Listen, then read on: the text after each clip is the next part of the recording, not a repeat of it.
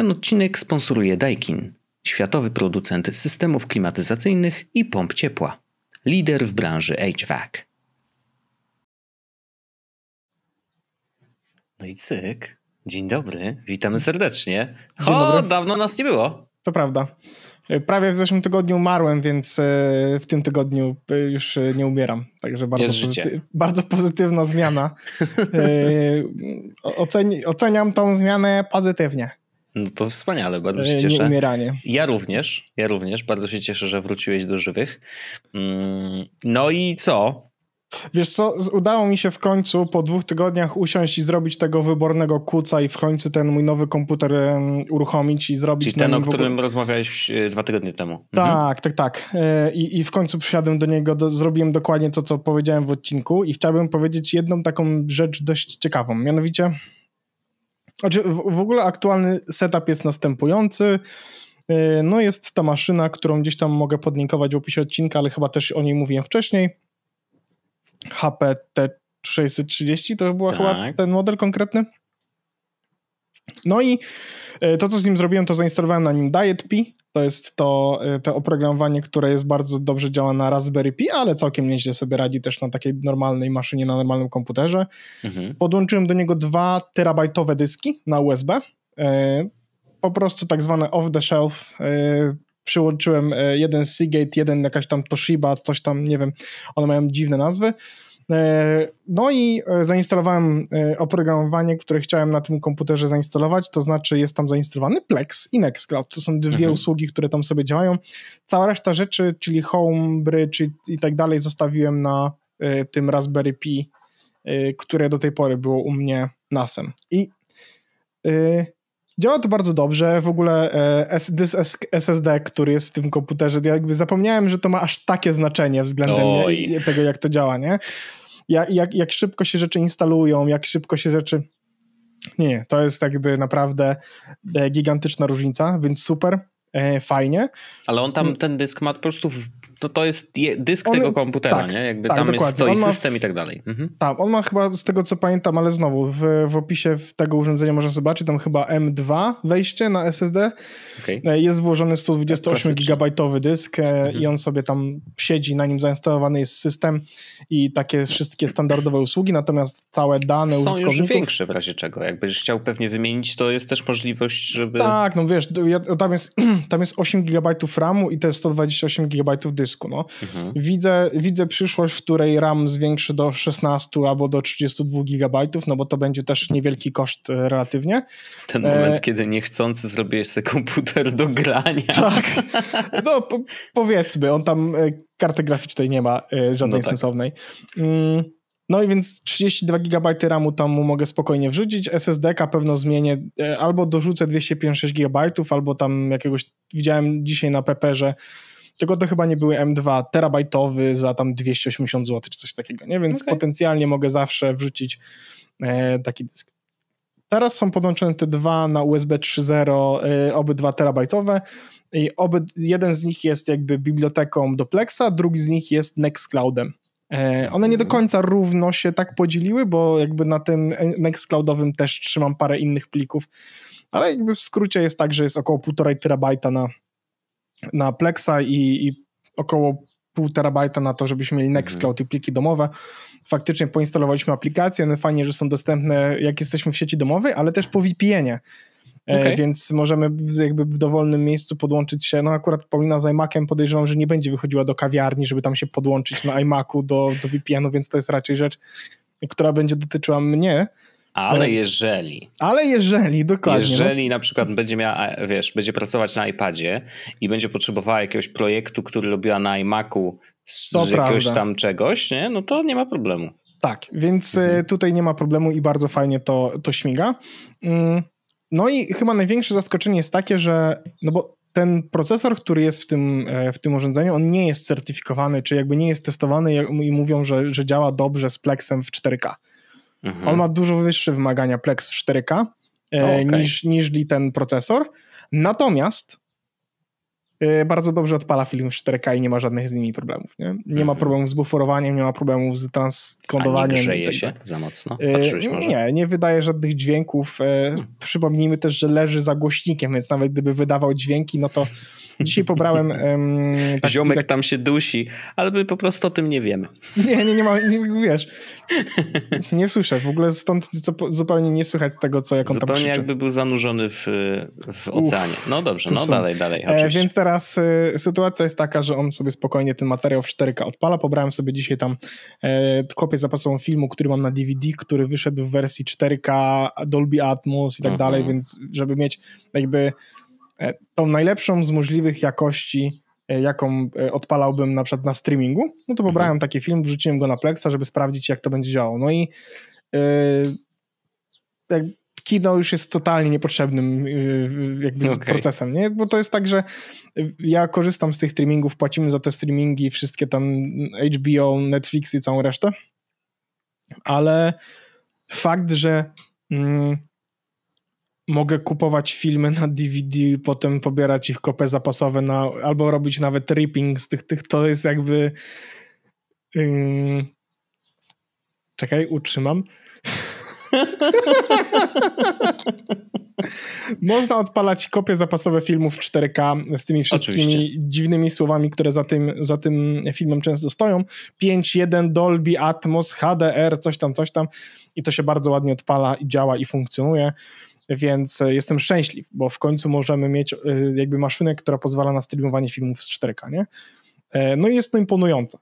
Różnica jest dość duża. No jakby główną wartością jest to, że jednak audio jest dużo lepiej brzmi w takich filmach niż w, w takich typowych 1080p. Nie? Po prostu mhm. tam zwykle jest jakiś surround czy, czy 5.1. Na Dolby Atmos to Dolby Atmos to jednak jest trochę przyjemniejsze doświadczenie. Więc super, bardzo fajnie. E, udało mi się wszystko ogarnąć. To zajęło mi. Powiem ci, że jak, jak jakby polęgłem tam z dwa tygodnie temu, nie? I mhm. taką dość solidną porażkę miałem. Tak e, wczoraj mi to zajęło, nie wiem, godzinę? O, włącznie z... A to już przeszedłeś już dużą drogę, nie? Tak, no wiedziałem już w którym miejscu e, nie popełnić błędu i więc zajęło mi to jakąś godzinę, włącznie z konfiguracją iMac'a i mojego MacBooka żeby e, ten Nextcloud tam funkcjonował i, mhm. E, no, i pliki e, synchronizował. Do, to, co jest fajne w Nextcloudzie, pojawiły się w ogóle takie dodatki, o których nie wiedziałem. Na przykład ChatGPT możesz mieć w, w Nextcloudzie no. zrobiony i nawet mhm. z obsługą DALI. Więc jak jest Proszę. aplikacja Nextcloud Talk, to jest mhm. właściwie taki czat mhm. i on działa u nas w domu i on działa tylko lokalnie, więc mamy lokalny czat między mną a Pauliną. No nie, nie widzisz, Czyli że nie korzystamy. możesz napisać do, do sypialni. Pisze na Telegramie, nie? Natomiast yy, mamy faktycznie ten lokalny czat, ale to, co jest chyba bar- najbardziej wartościowe, to na nim można używać swobodnie chat GPT tego mojego klucza, nie? I dali. A, Więc okay. można po prostu y, na tym czacie, pisząc do siebie nawet samego, generować mhm. sobie czy to obrazki, czy teksty przez chat GPT spoko. Działa to nieźle, ale to nie jest selling point e, główny. Główny oczywiście selling point to e, to, to że Nextcloud, Nextcloud będzie alternatywą dla iClouda, nie? Mhm. E, to, co jeszcze przede mną stoi, czego jeszcze nie zrobiłem, to jest podpięcie B2, w sensie, żeby wszystkie pliki szyfrowały się i backupowały się na B2, ale mam literalnie otwarte obie zakładki w, w arku, że, żeby w jednym miejscu i w drugim miejscu po prostu popisywać odpowiednie klucze no i będzie działać. Więc mhm. Y, będę miał zaraz jeszcze kopię właściwie tylko dokumentów użytkowników na Backblaze, więc w razie czego, gdyby cokolwiek wybuchło, no to te pliki nigdy nie zginą, nie?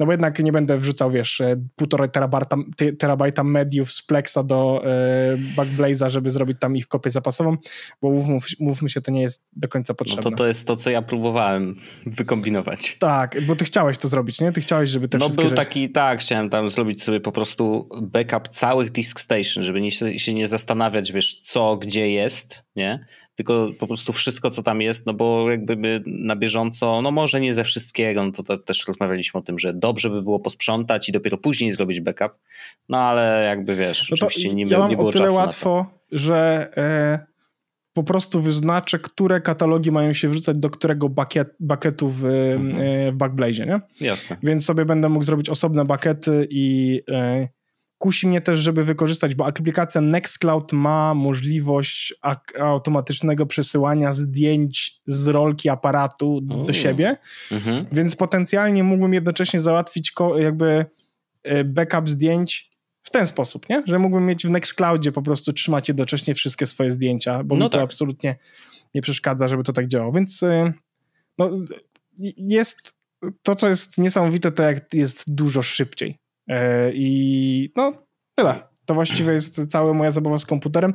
To jest najlepsze jest to, że teraz już nic nie muszę z tym robić, nie? bo wszystko zostało mhm. zainstalowane i skonfigurowane. Teraz nawet gdybym chciał się bawić, to o, przerzucajmy zdjęcia z urządzenia iOS, żeby się wrzucały do Nextcloud. To ja to robię na telefonie już teraz. Nawet nie muszę konsoli no tak. odpalać, nie? No tak, no bo już maszyna jest, nie? No to no. po prostu masz w domu serwer, no. Tak. I to taki full blown yy, i do tego taki, który E, no wiesz, e, w tym momencie zużywa 1,5 GB RAMu z 8 dostępnych, nie? więc jesteśmy w dobrym miejscu. W sensie no mam okay. jeszcze dużo tam sufitu, a tak jak mówię, będę chciał dorzucić więcej RAMu, to po prostu tam z ciekawości.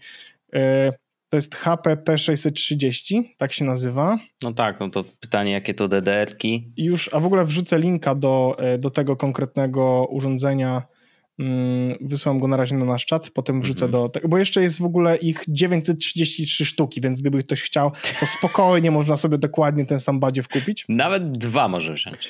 E, tak, i on ma DDR4 SDRAM, tak się tutaj mm -hmm. na, mhm. napisane jest. DDR4 Dość standardowe, no. Do laptopów, nie? Mm -hmm. Komputery. To myślę, że nie będzie drogie. Podzespoły. Pamiętaj, że to nie jest Apple, nie? Tak. DDR4 SDRAM 32 GB 358 zł. Więcej niż ten komputer, prawie dwukrotnie. Półtora raza, tyle więcej co ten komputer. No ale wiesz, no to jest rozwiązanie mojego problemu, nie? No jeżeli, jak, dopiero jak się pojawi tak naprawdę, no bo na razie to wiesz, no nadal, problemu. Nie, nie, w tym momencie absolutnie tego problemu nie ma, no bo to jest, hmm. y, jeszcze mam dużo sufitu, no ale ciekawe tylko, muszę sprawdzić, aha, 1866 MHz to jest ważne, żeby to był taki, bo inaczej pewno nie będzie go czytać, nie? No, musi mieć dobry ten tak zwany clock. DDR4 1866. No pięknie, no dobrze, dobrze. Trzeba mieć. Yy, trzeba, dobrze, no że masz po prostu opcję. No to jest to, że. Muszę wiesz... sprawdzić, który to jest dokładnie, aczkolwiek widzę tutaj, że 16 GB za 166 zł. Okay. I to chyba no to, jest to... ten. Yy, no ale to. E, nie, nie, nie, nie sprawdziłem tego dokładnie jeszcze. A są jeden slot czy dwa? E, wiesz co, chyba są dwa. Mhm. Bo dual channel, więc są dwa. A, no, no na pewno. Oczywiście, że tak. E, no to spoko, no skurczę, no masz serwerek, przynajmniej wiesz, do czego chcesz z tego korzystać, wiesz, no bo to jest to, że mm, przede wszystkim trzeba mieć najpierw pomysł do czego, nie? Jakby to musi rozwiązywać konkretny problem, ale, ale ewidentnie y, no, no tutaj już główny problem, z, tak, główny problem Plexa no. już jest rozwiązany, tutaj jest tak. spoko, możemy sobie, wiesz, y, y, oglądać seriale czy filmy w wysokiej jakości, kiedy będziemy chcieli, no a drugi związany z backupem lokalnym też jest rozwiązywany w mhm. tym momencie, więc super miejsce no na i jeszcze na Raspberry masz na, na, na tej tam stoi Homebridge w tym momencie tak, i y, chyba Pichol czy Adgard czy coś takiego. Mhm. W ogóle to jest zabawne, że, że y, no bo jak konfigurujesz sobie internet tam w, w sensie u serwery DNS, mhm. no to ja mogę wpisać już dwa serwery lokalne, bo mam y, dwie instan- dwa serwery, które jeden albo drugi może ten ruch obsługiwać, mhm. nie? Bo na obu jest zainstalowany też y, ten sam mm, chyba Adgarda chyba wszędzie mam poinstalowanego, okay. więc więc on może y, wybierać losowy serwer z tych dwóch lokalnych, które są uruchomione. Nie? Aha, bo, to, bo tam jest miejsce na dwa adresy chyba nawet, Tak, nie? no to ja mhm. mogę wpisać oba, a e, więc śmiesznie. śmiesznie. No to ciekawe. Ziomek sobie internet zrobił w domu. nice. E, to a propos, mm, trochę a propos, e, bo no, mów, rozmawiałem o backupach, o trzymaniu danych, więc y, nie wiem dlaczego, dopiero teraz to znalazłem. E, I żałuję bardzo, bo to y, w marcu mm, tego roku ziomeczek zamknął, te, znaczy inaczej, projekt został mm, ustawiony na GitHubie jako, jako tylko do odczytu, nie? że jakby nie można mhm. już z nim nic robić. Więc no, życie tego projektu istnieje. To jest raczej oczywiście eksperyment, ale, e, ale, ale bardzo ciekawy. Ziomek na GitHubie mm, nazywa się ten ziomeczek, jakąś się, Dworak. Mm, I ten Dworak, kolega, y, Histidine Dwarf ma taką ksywę, bo na, na tym można, na Coffee nawet, Buy Me a Coffee ma, ma konto. W każdym razie, co wymyślił? E, wyślę ci linka. E, czy to jest to? Nie, to nie będzie to. Później ci oczywiście wyślę linka do wideo na YouTubie, które e, jest, o, gifa ci wyślę, to będziesz wiedział o co chodzi, bo więcej tak naprawdę nie potrzeba. E, wideo, które, każda klatka wideo to jest jakby siatka pikseli białych i czarnych w różnych konfiguracjach. I z każdą klatką ta, y, ten pattern się zmienia, nie? Więc jak oglądasz to na, na, na, na bieżąco, mm, jak odpalisz to, to, to wideo, to masz po prostu tak jakby taką kaszę, jak wiesz, w telewizorach mhm. ze starych czasów, że tam po prostu było szum taki i nie wiadomo o co chodzi, nie? Yy, tylko, że tutaj piksele są trochę większe. To wideo de facto jest po prostu plikiem plikiem, zestawem danych, jakiś, nie pamiętam czy on to, jakiś plik exe tam za, zahaszował, czy jakiś DMG, no nieważne, to może być i do CX, cokolwiek, to sobie wymyślisz, nie? I napisał program, który właśnie na GitHubie można sobie z, z, ściągnąć, zainstalować u siebie y, w Dockerze bodajże gdzieś to siedzi i, i no jest cała instrukcja, wiadomo, wie, wiecie jak GitHub działa, więc doskonale wiecie jak to będzie działać. W każdym razie ziomek potrafi tym programikiem swoim z, zamienić plik, z, który ma ileś tam danych, na formę wideo, którą możesz zauploadować na YouTube'a i później, jeżeli będziesz chciał odzyskać ten plik, to możesz go z YouTube'a ściągnąć i z powrotem przerobić. tym programem przerobić z powrotem na swój plik, który miałeś, nie? Niesamowite to jest. I teraz według niego, oczywiście to jest napisane też na tym GitHubie, że y, oczywiście, czy to nie jest przypadkiem hack na nieskończenie wielki, y, wielkie miejsce, taki storage, który możesz trzymać, taką wiesz, że wykorzystujesz wtedy YouTube'a jako darmową chmurę na trzymanie danych, bo sobie, z, wiesz, zakładasz takie, mm, takie konto, w którym będą wideo, które odpowiednio nazwiesz, po prostu w tytułach będziesz wiedział, co to jest za plik i po prostu sobie później z YouTube'a będziesz Ej, ściągał to znaczy, w razie można potrzeby. tak potencjalnie wrzucić film na YouTube'a, przerobiony w takie piksele, tak. po to, żeby go potem pobrać i obejrzeć tak. jako normalny film.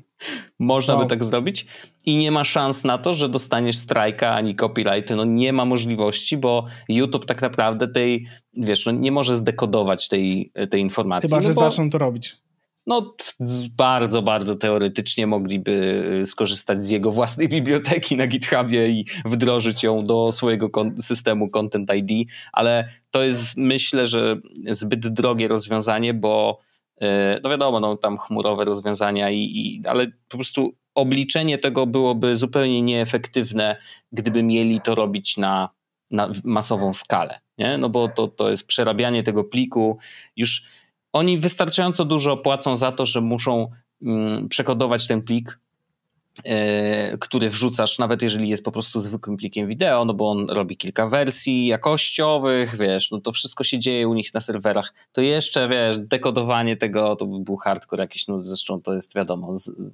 bardziej eksperyment niż coś, co ktoś by używał, mm, wiesz, jakoś specjalnie e, właśnie w, w, ten sposób, nie, jak wymyślili to twórcy, czy ten konkretny twórca. Mm, więc no, jest to naprawdę, o, znalazłem ten YouTube'owy e, wideo. Koleś w ogóle bardzo ciekawie podchodzi do tego, że mm, na początku, e, bo jest fajnie to opisane właśnie, mm, na początku on chciał wykorzystać do tego jeszcze kolory. To znaczy, wiesz, wykorzystać to, że skoro piksele mogą mieć jeden z 200 tam, znaczy no wiadomo, no kolory mają, tych kolorów jest miliony, ale, y, ale musimy założyć właśnie problem z kompresją. Nie? Że jakby jeżeli właśnie wrzucasz wideo na YouTube'a, to ono jest kompresowane mm, i okazuje się, że niestety po kompresji, jak pobierasz takie wideo i próbujesz przepuścić przez tą maszynkę, no to jeżeli miało kolorowe piksele, no to nawet najmniejsze zmiany tych kolorów wywalały ci cały, ca, ca, cały plik, nie? Jakby, no bo każdy jeden piksel na tej planszy pojedynczej, gdzie każda plansza to jest jedna klatka wideo, klatek wideo jest zwykle 25, 30 albo nawet 60 na sekundę, yy, więc każdy taki piksel musi jakby zostać w tym samym miejscu, musi mieć ten sam kolor, który był przy kodowaniu, nie? więc jakby dlatego on musiał jednak yy, zrobić scale down, to znaczy piksele zrobić większe, tak żeby nie było wątpliwości, gdzie się dany piksel kończy yy, i, no i właśnie przerzucił się na te czarno-białe, bo, bo, bo tych w postprodukcji, którą, czy, czy przy tej kompresji, którą robi YouTube, yy, nic się wiesz, nie wywalało i faktycznie efekt był taki, że po pobraniu tego pliku i przerobieniu tym e, programem faktycznie wracał ten plik, który miał być i, i wszystko było ok, wszystko się tam, checksum się sprawdzał, MD5, wszystko było git, nie? E, więc no ciekawy bardzo eksperyment uważam yy, i, sposób na to, jak trzymać ogromne pliki na YouTubie z, za zupełne darmo, ale on właśnie zaznacza, że hej, czy to nie jest przypadkiem przeciwko YouTube'owemu Terms of Service? No i on mówi, Probably. no i właśnie widzisz, jest w Community Guidelines jest tam e, taki punkt dotyczący automatycznie generowanym kontencie e, i e, bez, to, to jest śmiesznie napisane, auto-generated content that computers post without regard of for quality or viewer experience. Czyli właściwie chyba takie wideo, gdzie są po prostu, wiesz, taka kasza, można by podpiąć pod ten punkt, że no, tego YouTube u siebie nie chce, no bo rzeczywiście jest to generowane automatycznie, mm, jest postowane przez komputer, no w teorii może to być człowiek, ale to nie ma znaczenia, ale without regard of for quality or viewer experience. No to tutaj muszę przyznać, że jednak zdecydowanie to pasuje, no bo E, experience oglądającego takie wideo jest zdecydowanie nieciekawy, no bo wiesz, no well, e, nie za bardzo się będziesz dobrze bawił patrząc na taką kaszę przelatującą przez ekran, ale tak czy inaczej szacuneczek, że e, że ziomek podszedł do tego tak kreatywnie i, i, i wiesz, jakby był potrafił z jednej strony to zrobić i faktycznie to zadziałało, a z drugiej yy, no, zrobić tak, że faktycznie działa, nie? że jakby no, no to, to, to wydaje się po prostu w teorii niby proste, ale w praktyce... Ale to jest zajebista rzecz. W sensie... Nieźle, co? Wi, wi, to w ogóle może mieć sens nie tylko dla YouTube'a, nie? W sensie w ten mhm. sposób jakby... Yy storage takiej rzeczy w ogóle w, w filmach. Mhm, mhm. No tak, tak, właściwie, właściwie jak najbardziej. Czy to w filmach, czy. Mm, no zresztą było y, kilka przykładów jakiś czas temu. Pamiętam, że coś w JPEGach się trzymało, jakieś dane dodatkowe. Nie pamiętam, czy one już były ukryte w metadanych, czy gdzieś tam, ale było coś takiego, że jakby wygenerowane obrazki potrafiły trzymać innego rodzaju dane niż, niż, niż faktyczny obrazek. Y, teraz sobie nie mogę przypomnieć, ale coś mi tam śmig, wiesz, w głowie świeci, że wydaje mi się, że może i nawet rozmawialiśmy o tym e, w podcaście, o tych JPEGach, które coś tam e, oprócz bycia JPEGiem jeszcze coś e, miały w sobie. No ale to jest ciekawe, że jakby it's all data, nie? że jakby to wszystko może, to są wszystko dane, które możesz przerobić na dowolne sposoby. No i najważniejsze jest to, żeby umieć to odzyskać z powrotem, nie? że jakby z jednej strony szyfrujesz, a z drugiej odszyfrowujesz mm, jakimś tam swoim systemem. I to chyba bardzo w ogóle jest zbliżone y, definicją do, do, y, do szyfrowania jakiejś treści, nie? No bo masz jakiś klucz szyfrowania, y, którym jest ten program, który to robi.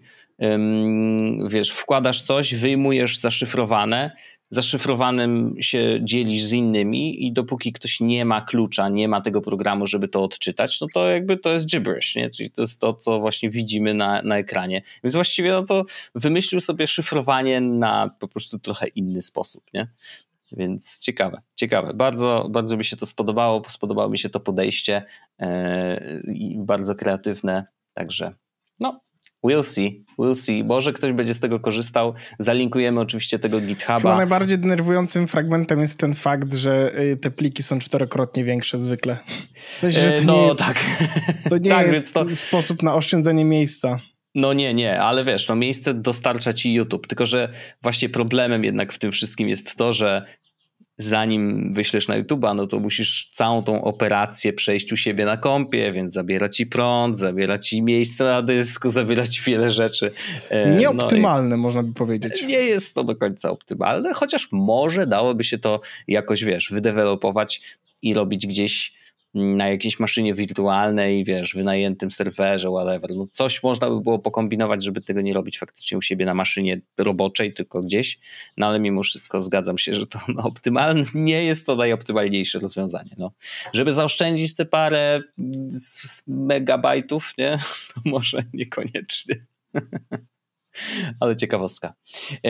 No nic, y, to w takim razie zapraszam naszych słuchaczy kochanych do rozmowy z Magdą e, z Dajkina. E, myślę, że to była fajna rozmowa, bardzo na luzie e, i pogadamy o tym, jak jest ciepło i jak próbujemy sobie z tym poradzić. Mm, a naszych patronów oczywiście po tej rozmowie zapraszamy jeszcze na After Darka, a, a tych, którzy do After Darka nie mają dostępu, zachęcamy, żeby stać się patronami. Będziecie mieli dostęp do naprawdę dziesiątek, nie setek jeszcze, nie? Chyba setek możesz. Może już setek? Myślisz, że no. powyżej 100 to już są setki. Tak, to jest, jest możliwe, że, że powyżej setki e, już jest tych dodatkowych odcinków. Naprawdę warto. E, my jesteśmy e, Jesus Podcast i we sign off, ale zachęcamy jeszcze do posłuchania fajnej rozmowy. Trzymajcie się. Pa! Okej, okay, no to witamy serdecznie. Jest ze mną Magda, ale Magda może sama się najlepiej e, przedstaw, powiedz kim jesteś i czym się zajmujesz.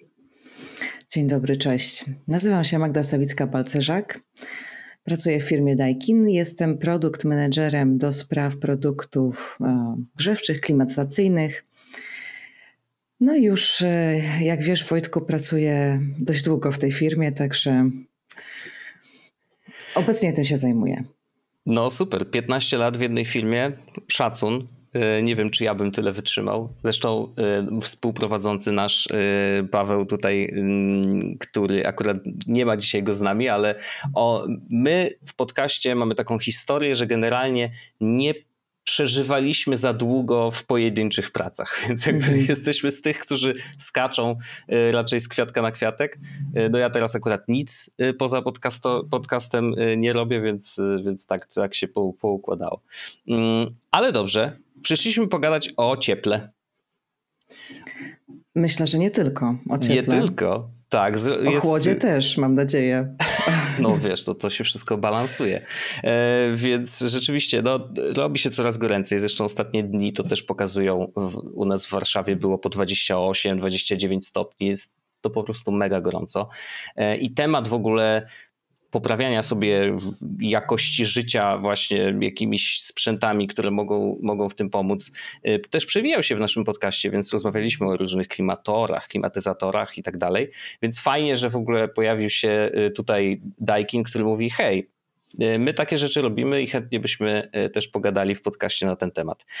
Więc moje pytanie na początek jest takie: jak w sensie, jakie mamy metody na to, żeby poradzić sobie z gorącem? I ja mówię teraz tak ogólnie, mm, że zarówno w domu, e, czy w mieszkaniu, e, no bo wiadomo, że biura to już pewnie nas tak bardzo nie interesują ze względu na to, że raczej nas słuchają osoby, które, no nie wiem, pracują na home office, a mhm. biurem się zajmuje ktoś tam, tak? Że jakby jest ktoś odpowiedzialny za to, żeby w biurze było chłodno, więc tym się raczej nie przejmujemy.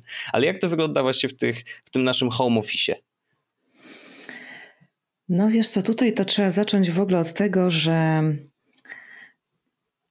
powinniśmy zacząć nie od klimatyzacji i obniżenia mhm. temperatury w pomieszczeniu, tylko od tego, żeby ograniczyć w ogóle zyski ciepła w pomieszczeniu poprzez okay. różnego rodzaju działania, ale one są związane z konstrukcją budynku e, po części, ale nie tylko.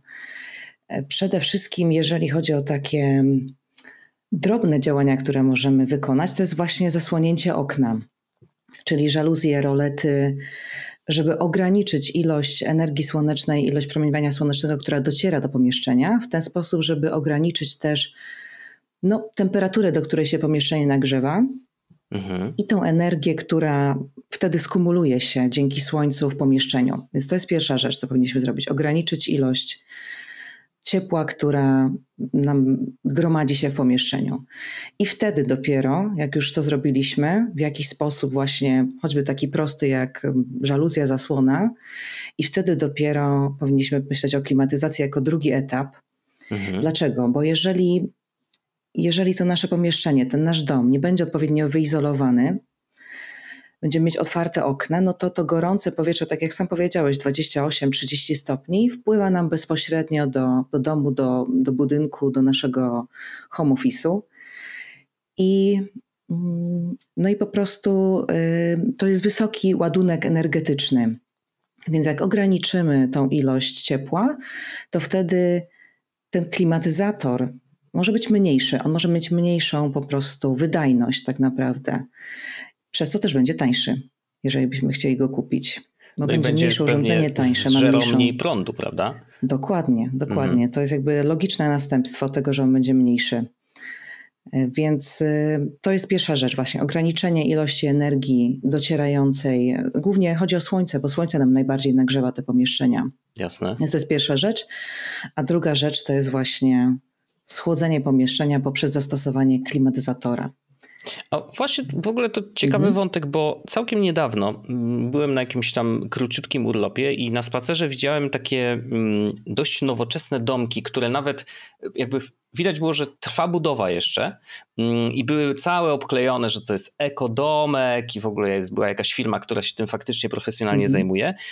I zwróciłem uwagę na jedną rzecz, co, co jest ciekawe, bo y, jakby trochę jest kontra to, co mówisz bo tam ściana, przynajmniej jedna i dach, dach oczywiście był cały w panelach fotowoltaicznych, no to jakby mhm. oczywiste, tak? Ale druga część dachu była cała po, y, jakby pomalowana na czarno i ściana też była czarna po to, żeby właśnie gromadzić tą energię y, słoneczną, ale żeby podgrzewać wodę. Tylko, że podejrzewam, że chodzi o to, że ta woda się grzeje, pewnie są rurki w ścianach, jakoś to jest tak zrobione, że, y, że to jakby ogrzewanie ze słońca jest pobierane.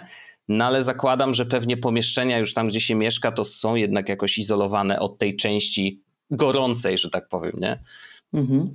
No właśnie tutaj, wiesz co, jest taka niezgodność interesów, bym trochę powiedziała. No Bo zimą, kiedy chcesz mieć ciepło w domu, to to duże okno na kierunek południowy jest korzystne, bo wtedy jak to słońce nawet na chwilę wejdzie, wyjdzie zimą, no to nagrzeje ci pomieszczenie i no jest przyjemnie, prawda? I też mniej energii do podgrzania tych pomieszczeń mhm. jest potrzebne. Natomiast latem jest wręcz odwrotnie. Jak masz to duże okno, olbrzymie na całą ścianę, tak jak e, w tym przypadku tego domku, który wspominałeś, od strony południowej, no to latem jak będzie mocne słońce, to wiadomo, że to pomieszczenie nam się nagrzeje, no bo to jest efekt szklarni po prostu. Tak jak w no tak. szklarni jest przeźroczysta powierzchnia, przez którą przechodzi słońce, wnętrze jest po prostu, no nie ma tam przewiewu na przykład, bo to jest jakieś pomieszczenie zamknięte i wtedy to pomieszczenie się nagrzewa. Dlatego mówiłam o działaniach, które miałyby na celu w jakiś sposób zasłonięcie nas od tego słońca, żeby te zyski od promieniowania ograniczyć. Mhm. Natomiast właśnie zimą to, tą żaluzję byśmy otwierali, żeby te zyski były, Jasne. żeby nam nagrzały dom i mniej, żeby energii zużyć do cyklu podgrzewania pomieszczeń. Ten dom, o którym mówisz, y, nie wiem dokładnie, co to, co to mhm. jest za mhm. budynek, ale przypuszczam, że Teraz to jest modne generalnie, żeby mieć kontakt z naturą, mieć duże okna w domach, ale właśnie tutaj wszystko ma znaczenie.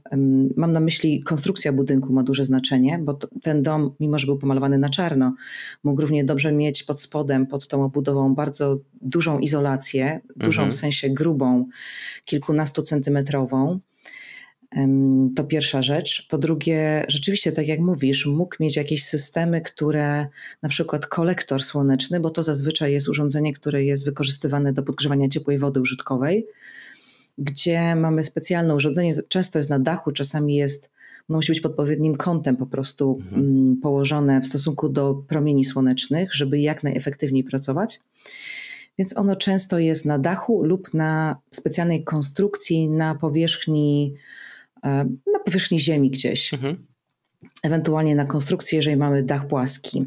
Tutaj mówiłeś, że były panele fotowoltaiczne, ale ich celem jest jakby wytworzenie energii elektrycznej tak. ze słońca. Ja też jestem właścicielką e, paneli fotowoltaicznych i też u siebie w domu na dachu mam taki system. Także dołączyłam do tego grona. No ja, Natomiast... ja czekam, bo i w ogóle to jest to. ciekawostka, bo mhm. E, z, poprosiłem, bo ja mieszkam w bloku, więc to też troszeczkę inna sytuacja. E, natomiast też systemy balkonowe podobno są robione. No i ja zgłosiłem e, do naszego zarządu, tutaj do wspólnoty, że hej, ja bym chciał taki zrobić sobie system i oni, nasz zarząd, wysłał informację o tym, że ja chcę zrobić panele do architekta budynku, żeby mhm. się upewnić, czy przypadkiem nie złamiemy prawa, e, prawa autorskiego tego właśnie architekta. Więc jakby, mhm. bo to jest taka ingerencja, że jednak no, w pewnym sensie zmienia kubaturę w jakiś sposób, no bo to jest na zewnątrz, jest to na, na balkonie i tak dalej, więc mus, musimy się upewnić, czy architekt będzie z tym ok. Co jest zabawne, ale no czekamy, czekamy. No, w blokach to jest, wiesz co, popularne, że jak coś chcesz zmienić, to o właśnie, tutaj też wracamy, słuchaj, do naszego tematu klimatyzacji, bo mhm. Klimatyzator często, nawet nie często, tylko zawsze składa się z dwóch elementów, jednostki wewnętrznej i zewnętrznej. Mhm. I właśnie jakbyś chciał taką jednostkę zewnętrzną też zamieścić na przykład na ścianie takiego bloku, czy na balkonie, no to też przypuszczam, że musiałbyś mieć zgodę tego architekta. Tak, zdecydowanie. Także... Ja wiem, że poprzedni właściciel akurat tego mieszkania, w którym teraz siedzę, yy, faktycznie załatwiał to, to, to pozwolenie, bo tutaj klimatyzator w tym pomieszczeniu jest i jest ta część dmuchająca, no i oczywiście na zewnątrz, na balkonie, yy, jakby pod, pod daszkiem wisi też ten, nie wiem jak to się nazywa, ten Agregat, jednostka A, zewnętrzna. Jed, o właśnie, tak. dokładnie, ta jednostka i e, no i to sobie jakoś tam działa. Mm, ale właśnie, czy zawsze konieczna jest, no bo to jednak jest jakaś ingerencja, nie tylko jakby kwestia wizualna, ale no trzeba się przewiercić nawet na na ten balkon, prawda? No bo tam tak. jest tych rurek dużo, jakiś prąd, y, woda pewnie się odprowadza, y, też na pewno się odprowadza, bo widziałem tę rurkę tam, że mi też ucieka mhm. pod, pod, po balkonie i ucieka woda na dół. E, więc czy to jest jedyna możliwość, że jeżeli mieszkamy w, w mieszkaniu faktycznie i chcielibyśmy mieć klimatyzator w domu, no to jak, jakie mamy opcje? Czy tylko taki hardcore, czy może są jakieś lżejsze opcje? Wojtku, ja tego nie nazywam hardcorem, bo moim zdaniem to nie jest duża ingerencja w budynek, bo mm, ten klimatyzator, który się składa z jednostki wewnętrznej i zewnętrznej, tak jak powiedziałam, on wymaga tylko i wyłącznie takiego właśnie przewiertu przez ścianę zewnętrzną budynku. Mhm. I tutaj wspomniałeś o tych rurkach. Tych rurek też nie jest jakoś szczególnie dużo, bo one są trzy tak naprawdę. Dwie rurki to, jest, e, to są rurki, gdzie krąży czynnik chłodniczy, dzięki któremu mhm. właśnie możesz mieć chłodno, czy możesz mieć ciepło, w zależności od trybu pracy klimatyzatora. Mhm. I tam jest rurka taka naprawdę cieczowa i gazowa. I ta cieczowa, no naprawdę, ona ma bardzo małą średnicę. Tam średnica to jest 6,35 mm często plus izolacja, więc bardzo mała rurka. I rurka gazowa, która zazwyczaj ma jakąś tam większą średnicę, powiedzmy średnio tam gdzieś 12 mm plus izolacja. Więc są te dwie rurki, plus ta rurka właśnie, gdzie są skropliny odprowadzane z jednostki wewnętrznej, mhm. bo w trybie chłodzenia no to skrapla się po prostu wilgoć z powietrza na tym wymienniku w jednostce wewnętrznej i ta wilgoć jest odprowadzona gdzieś tam do kanalizacji lub na zewnątrz, tak jak u ciebie. I te trzy rurki razem z jakimś tam przewodem elektrycznym to są, to są elementy, które musimy przeprowadzić przez ścianę budynku między jednym, jedną częścią tej, tej instalacji a drugą. Moim zdaniem to nie jest duża ingerencja. To jest dość proste i firmy, mhm. które wykonują takie instalacje, one po prostu robią jeden mały przewiert i prowadzą te rury przez ten przewiert i zazwyczaj wstrzykują tam w te przestrzenie, które zostają puste, taką piankę izolacyjną, mhm. żeby to zaizolować, już zamknąć ten otwór. No tak, tak, tak, żeby nie wiało. No i jakieś tam prace, dokładnie. I potem jakieś prace budowlane jeszcze są wykonywane, żeby to, wiesz, estetycznie wyglądało.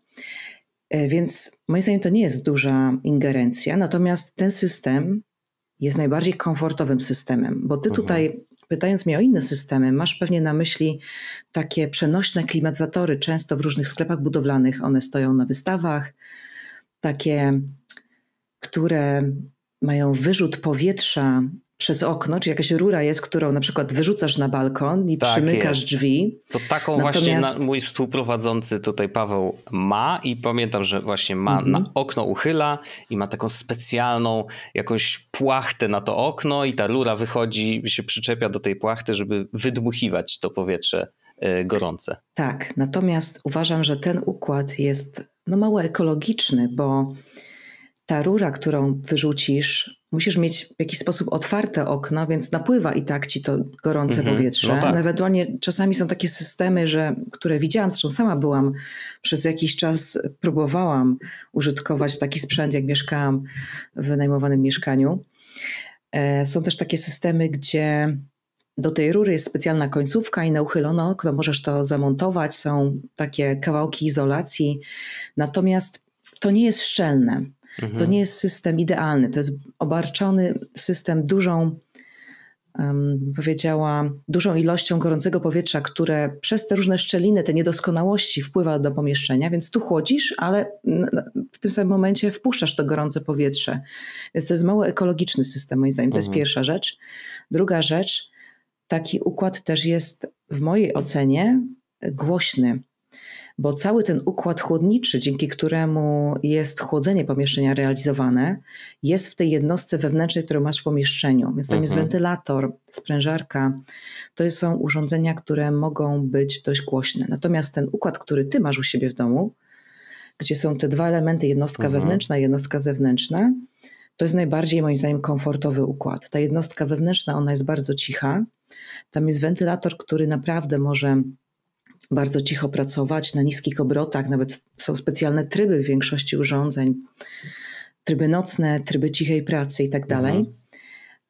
A ten duży wentylator i sprężarkę masz w jednostce zewnętrznej, czyli tej, która u ciebie jest tam gdzieś na balkonie, tak? Podwieszona. Tak z jest. tego, co no. zrozumiałam. Mhm. Więc moim zdaniem ten układ jest najbardziej komfortowy na przykład jakbyś miał, nie wiem, małe dziecko i chciał je położyć Mam. spać, ale o tak, właśnie, tak, no, to, tak, no to jakbyś to. wstawił taką wielkie urządzenie, które hałasuje, no to nie wiem, czy to dziecko by było w stanie spać, ale no może, może jak jest przyzwyczajone do hałasu. Natomiast y, moim zdaniem ten układ tak zwany split, czyli masz tą jednostkę wewnętrzną i zewnętrzną osobno, to jest najbardziej komfortowy układ. Wymaga to, przewiertu, oczywiście, no tak, ale nie tak, jest to jakaś, moim zdaniem, duża ingerencja. Natomiast ten układ z tym przenośnym klimatyzatorem no jest mniej komfortowy. Moim zdaniem jest głośny i mniej ekologiczny, bo mhm. wpuszczasz to gorące powietrze do pomieszczenia. No ale rozumiem, że w pewnych sytuacjach przynosi on ulgę. No jak poza masz... tym, tak jak wspomniałaś, mhm. czasem mieszkamy w mieszkaniu wynajmowanym i nie za bardzo mamy możliwość zrobienia takiej ingerencji w mieszkanie, jak, jak, jak właśnie ten split system, tak? Tak. Tak, także dokładnie. No są sytuacje, kiedy po prostu nie mamy wyboru i mm. wtedy takie urządzenie nam przynosi pewną ulgę. Więc jakby rozumiem, że że to może być rozwiązanie. No tak, taki pół, półśrodek, no ale mhm. zawsze coś, tak? No to trochę jak taki wiatrak, wiesz, zamiast y, światła, żyrandola w domu, nie? Że masz ten wiatrak, który też się kręci cały czas, no jakaś cyrkulacja się z, w, zwiększa, więc to mikro, mikroskopijnie poprawia y, jednak komfort siedzenia w takim pomieszczeniu.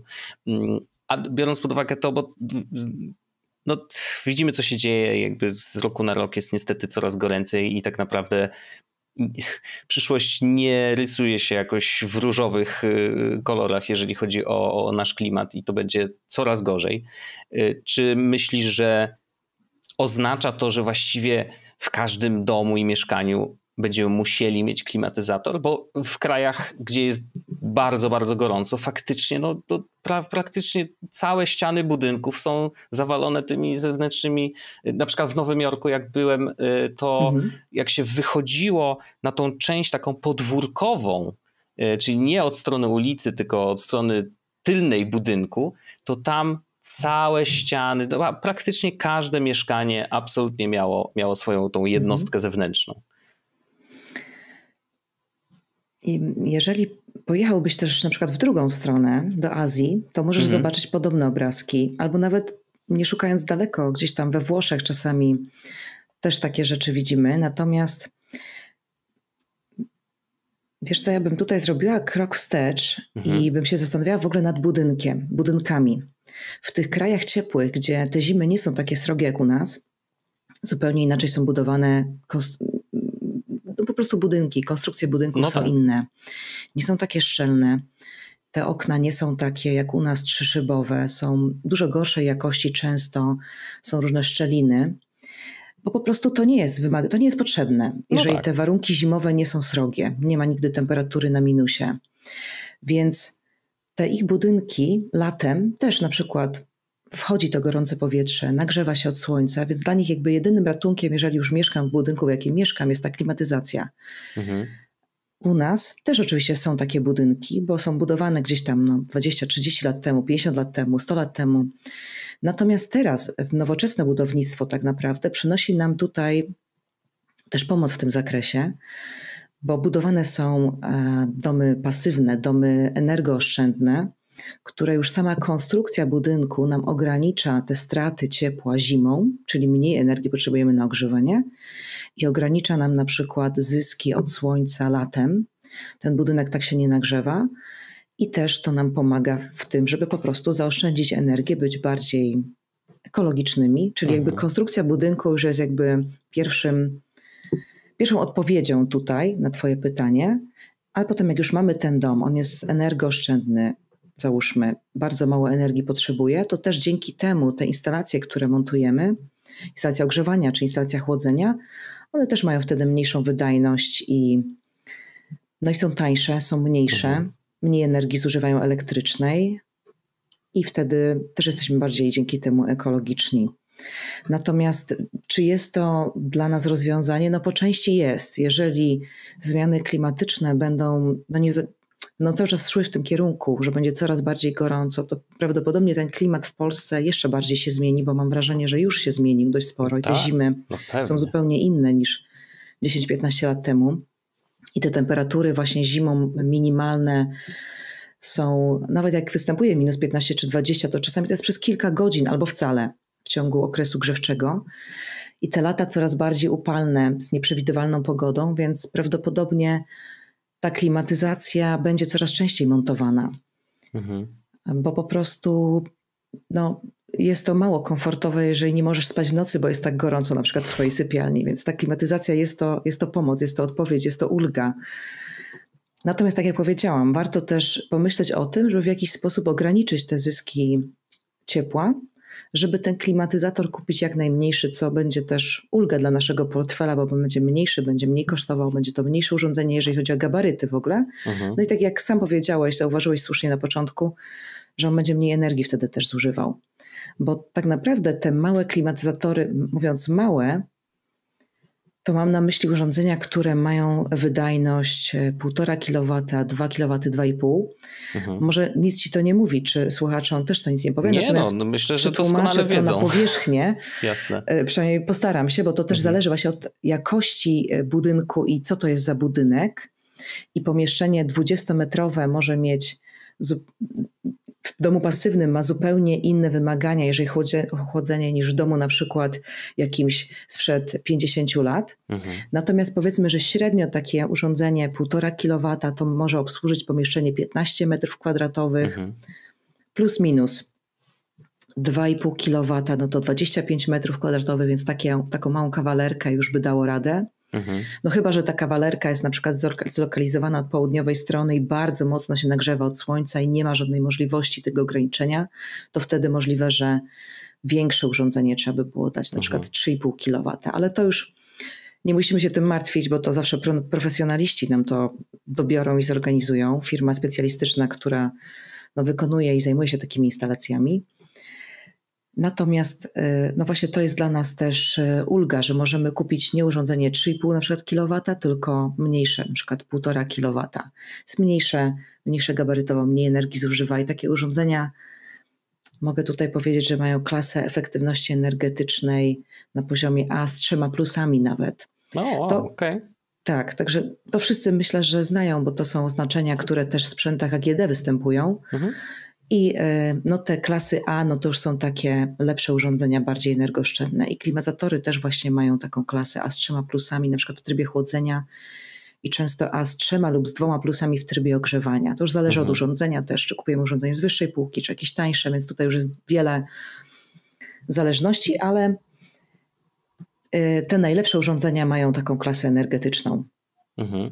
A to, bo zaczęłaś mówić o, o, o, wspomniałaś o tych domach pasywnych. Zakładam, że to są właśnie jakby no, teraz taki standard, że jeżeli chcemy budować ekologicznie, czy zależy nam na tym przy budowie, no to faktycznie idziemy w tą stronę. To gdybyś powiedziała, jak, oczywiście pod tym względem temperatury, oszczędności y, na, na prądzie, czy właśnie ekologiczności, tak, to taki idealny dom, jakie elementy tego systemu ogrzewania, chłodzenia i tak dalej powinien mieć, żeby, y, żeby właśnie raz być jak najbardziej ekologicznym, y, a dwa, żeby no, było tam komfortowo mieszkać? Wiesz co, Wojtko, już trochę odpowiedziałam na to pytanie, ale może no podsumuję tak, bo mówiłaś to, o tych zasła żeby... zasłanianiu, tak, jakby dbaniu o Tak, mm, ale o jeszcze krok wstecz bym zrobiła przed okay. tym. Konstrukcja budynku właśnie jest mhm. bardzo ważna żeby to było wykonane, ten budynek był wykonany z dobrej jakości materiałów, żeby była izolacja odpowiednia, żeby te okna, drzwi, bo to są zazwyczaj przegrody, przez które najwięcej tego ciepła nam na przykład ucieka zimą i też pozwalają okna na nagrzewanie się pomieszczeń latem, mhm. więc te elementy też muszą być dobrej jakości, z odpowiednim współczynnikiem przenikania ciepła, takim, który nam to ograniczy te domy pasywne, one też często są tak skonstruowane, te konstrukcje są zazwyczaj dość proste i są tak skonstruowane, że nie ma mostków cieplnych, czyli takich elementów, które nam też powodują odpływ tego ciepła zimą. W specjalny sposób się montuje okna. No tutaj jest dużo, dużo szczegółów, jeżeli o to chodzi, ale to jest jakby pierwsza rzecz, o której trzeba zacząć. Idealny dom dla mnie, ekologiczny, idealny dom. Mhm. Pierwsza ta konstrukcja musi być dopracowana, przemyślana, żeby ona była energooszczędna, właśnie tak jak powiedziałam, nie wymagała wiele energii do ogrzewania zimą i ograniczała nagrzewanie się pomieszczeń latem. To jest pierwsza rzecz.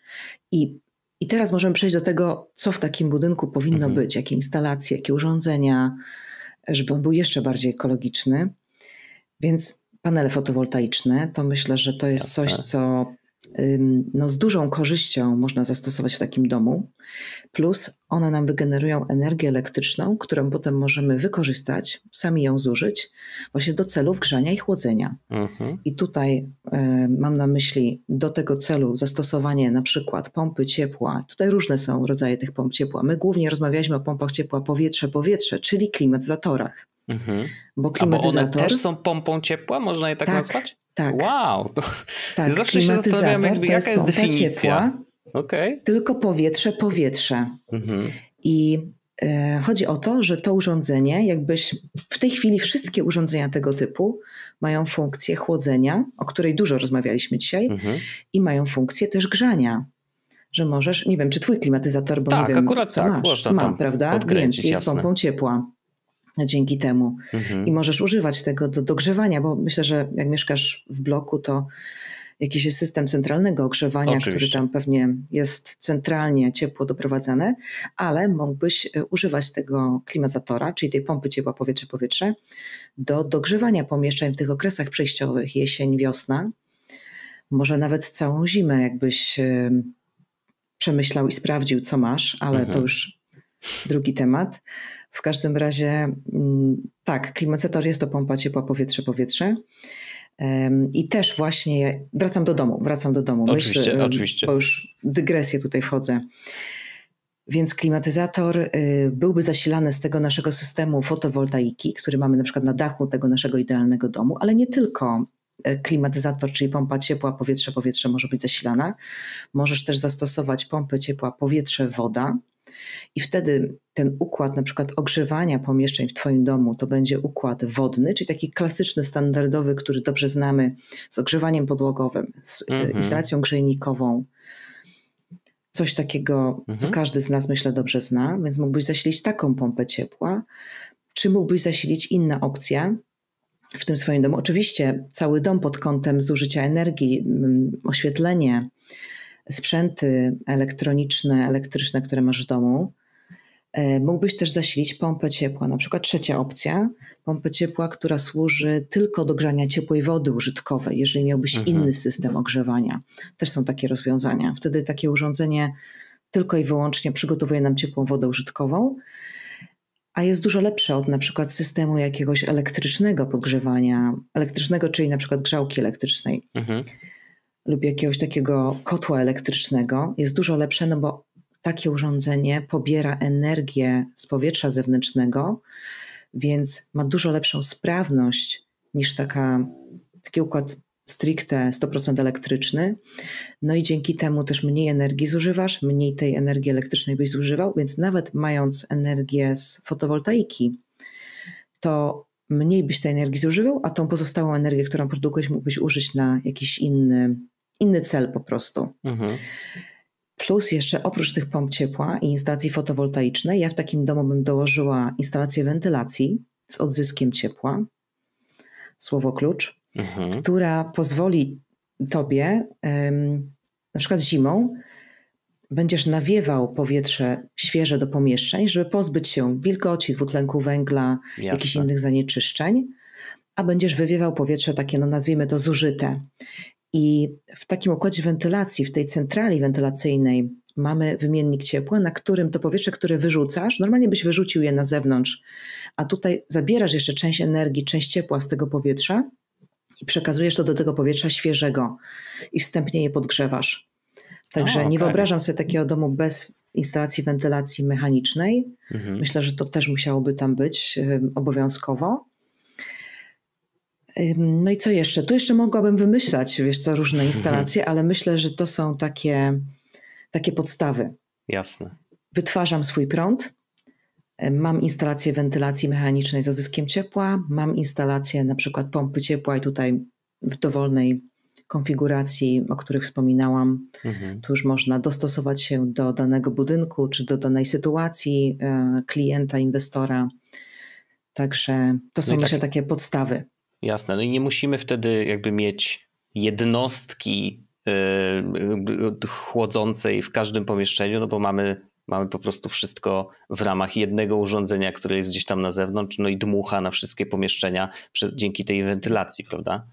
Tak, natomiast sama wentylacja, wiesz co, ona może być niewystarczająca, żeby ogrzać czy schłodzić pomieszczenia. Aha.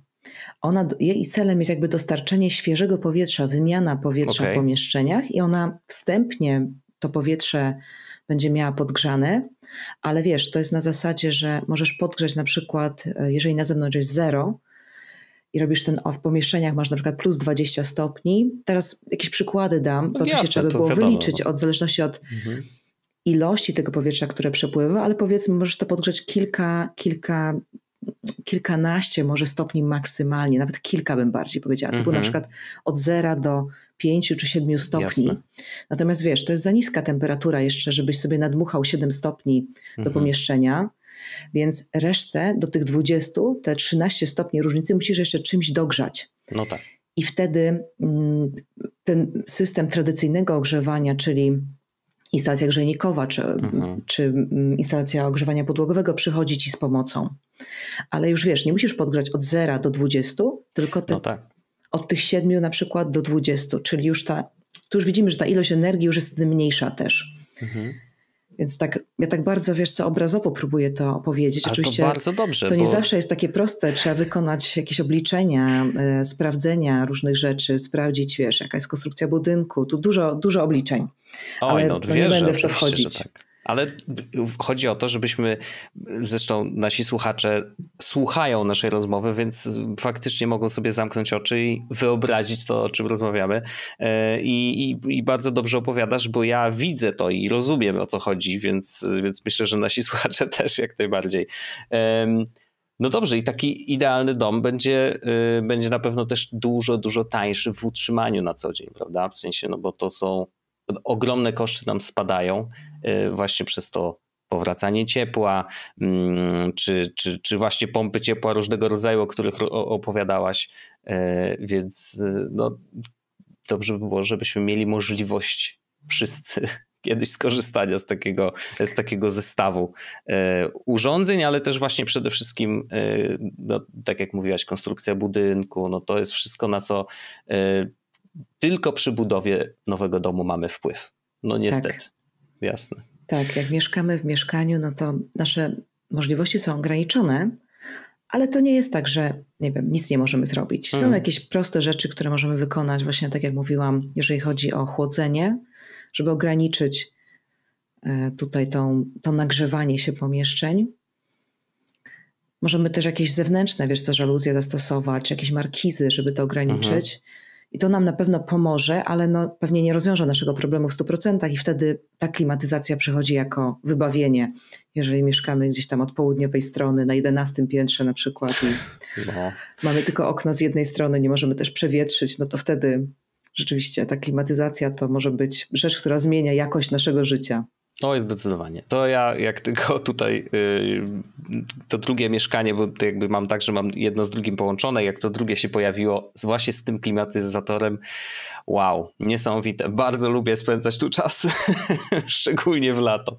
Yy, no ale no niestety nie wszędzie jeszcze się da. Ja tych pomieszczeń mam dużo i faktycznie to byłby problem. W sensie, że bez jakiejś takiej instalacji że mamy jeden wielki jakiś agregat na górze, który dmucha nam na wszystkie pomieszczenia i jest cała tutaj instalacja w środku zrobiona, no to musiałbym mieć klimatyzator praktycznie w każdym pomieszczeniu, bo one są mhm. tak od siebie oddzielone, że w żaden sposób jakby jeden, jedna jednostka nie dałaby rady, żeby, żeby ochłodzić odpowiednio dużo. No, także to jest też e, szczęście w nieszczęściu. No dużo pomieszczeń, ale niestety właśnie jeżeli chodzi o mhm. ochładzanie ich, to tutaj jest jest trochę problem. No ale każdy mieszka bardzo różnie, więc musi sobie dobrać po prostu takie możliwości, jakie, e, jakie są.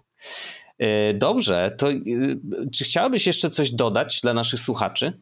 Wiesz co, mogę dodać też, nie wiem czy słuchacze o tym wiedzą, czy nie, ale myślę, że warto to powiedzieć jako może taką ciekawostkę też, okay. że jak mamy instalację właśnie klimatyzacji, czyli pompy ciepła powietrze-powietrze i chłodzimy pomieszczenia, to w tym samym momencie też mówiliśmy o wykraplaniu wilgoci, tak. więc klimatyzator też osusza nam powietrze w pomieszczeniu. I czasami są takie dni, kiedy powiedzmy czujemy, że zbliża się burza, jest bardzo gorąco, duszno. Mhm. I klimatyzator też działając w trybie chłodzenia osuszy nam to powietrze w pomieszczeniu, że ta wilgotność nam spadnie. Wow. I dlatego widzisz tą wodę właśnie, która kapie ci e, Wojtek Jasne. tam z rurki gdzieś na balkonie bo osuszamy to powietrze i to też przynosi ulgę. I dodam jeszcze, że klimatyzator nie tylko w tym chłodzeniu może osuszać to powietrze, bo jeszcze jest, możesz też na przykład z pilota na klimatyzatorze często włączyć też sam tryb osuszania. Często to jest oznaczone jako takie kropelki, mhm. E, jeżeli masz pilot, który ma takie symbole. I wtedy jakby to chłodzenie jest minimalne, jest wynikowe, nie ustawia się nastawy temperatury, po prostu tylko działasz w celu osuszenia tego powietrza i to czasami już przynosi dużą ulgę. Wow. Że tej wilgoci w powietrzu jest mniej, że jest po prostu suche powietrze. Jasne, to Więc to czasami też jest, e, no pomyślałam sobie, że może to być ciekawostka też, bo nie, to bo ja nie zawsze tak... jest to jasne dla, na, dla tutaj klientów też, z którymi się spotykam. No pewnie, bo na logikę ja, ja zawsze zakładałem, że raczej klimatyzator właśnie zwiększa poziom wilgoci w pomieszczeniu, no bo jakby no dmucha tym zimnym, tak się wydaje. Wiadomo, że się skrapla, ale myślałem, że jakby skrapla się z, nie w wyniku tego, że to właśnie ściąga tą wilgoć z powietrza w pomieszczeniu, tylko że no nie wiem, no coś tam w środku jest, co po prostu na czym się zbiera woda i tyle. A, e, a tu się okazuje, że okej, okay, no dobrze, to, to też ciekawe. Wiesz, w środku tej jednostki wewnętrznej jest tak naprawdę wymiennik aluminiowy często, na którym mm, on jest zimny po prostu. Mhm. I dlatego ta woda się na nim skrapla z powietrza. Tak jakbyś postawił, nie wiem, w gorący, upalny, duszny dzień sobie zimny napój na stole i no na nim tak. też się wtedy skrapla Jasne. na tych ściankach. Więc tu, tu na podobnej zasadzie to działa. Mhm. Że mamy zimny wymiennik, na nim się skrapla ta woda. Dzięki temu to powietrze się osusza i tę wodę odprowadzasz do kanalizacji czy gdzieś tam na przykład na balkon, tak jak mhm. u ciebie i mhm. obserwujesz to. Bo jak do kanalizacji byś to odprowadzał, to nawet byś pewnie nie widział, że tam jakaś woda leci, bo to by no od tak. razu, wiesz, odpływało. Ale więc to, to jest taka ciekawostka, którą myślę, że No proszę. Warto, proszę. warto wiedzieć. Taka, jak macie wilgoć w mieszkaniu, to może nawet dzia działać no, na zasadzie, nie wiem, no jak ktoś ma jakiś problem z wilgocią faktycznie w pomieszczeniu, że już no, no może grzyb to za dużo, ale, ale no generalnie grzyb są to takie... za dużo, no, nie wiadomo. przesadzajmy, ale Ale tak, to może pomóc też. Jasne, jasne. Wow, no to ciekawe, to bardzo ciekawe. To myślę, że rzeczywiście może być. Może nie, nie wszyscy o, o tym mogą wiedzieć, więc, więc fajnie, fajnie, że się pojawiło. Mm, dobrze, to ja bardzo dziękuję za, za y, bardzo fajną rozmowę. Mam nadzieję, że naszym słuchaczom też się spodobała i, i, i będą y, zainteresowani tematem, bo w opisie odcinka też jest link, że jeżeli sami chcielibyście sobie złożyć taki zestaw marzeń, y, czy po prostu porozmawiać z ekspertem i umówić się na, na jakąś analizę, to jak najbardziej możecie zostawić tam swoje dane i e, i ktoś z Dajkina się na pewno odezwie i, i z wami pogada mm, i zapyta, jakie macie potrzeby. No bo faktycznie to ja tak malowałem tą przyszłość na, w tych czarnych kolorach, ale no niestety no, trochę nas wszystkich chyba to czeka, że będziemy gdzieś prędzej czy później szukać jakichś rozwiązań, które nam pomogą po prostu przetrwać no, te, te coraz gorętsze lata. No. Tak, zapraszam do kontaktu. Jasne. Dziękuję bardzo, Magdo. Mam nadzieję, że dla Ciebie to też była miła rozmowa. E, no i co? Do, do usłyszenia. Jak najbardziej. Do usłyszenia. Dziękuję bardzo. Do usłyszenia. Dziękuję.